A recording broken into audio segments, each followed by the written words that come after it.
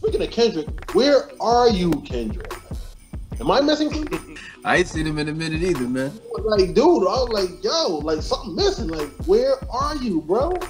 Let us know you are. Right. That's all. He, he might be dealing with like like because because you know dudes getting at him because his rhymes be kind of like don't really mean too much. Like you don't really you know what I mean. Like he's just be rapping words together.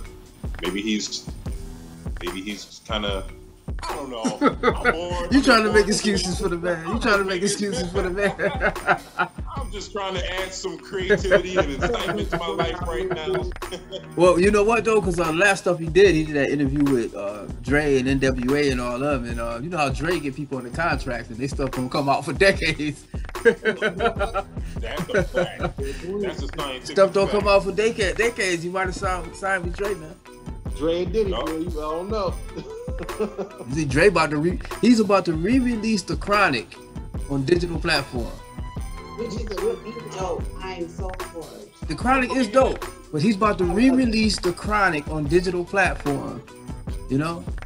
And I bet you it goes platinum again. Yeah. Watch We need Dre. We need Dre to come back. Slow down. That's what. Keep on. detox.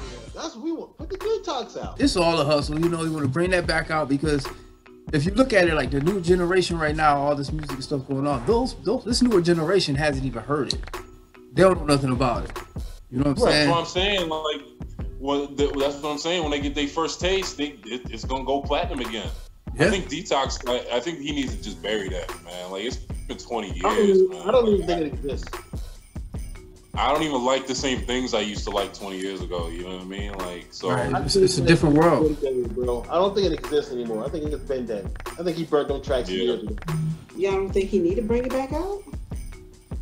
Well, no, we're talking about the detox. I mean, I, I mean, I, I love the Chronic Chronic?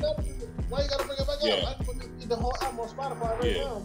to make more money because they it, it was out on album. That was before the digital era. Yeah. You know what I'm saying? So Yeah. now he want to catch that digital market, and which is it'll be the it'll yeah exactly. It'll be the HD digital release. Uh, custom, custom for beats. You know what I mean? To optimize. Da, da, da, da. It'll be a thirty dollar customized for beats. diamond edition.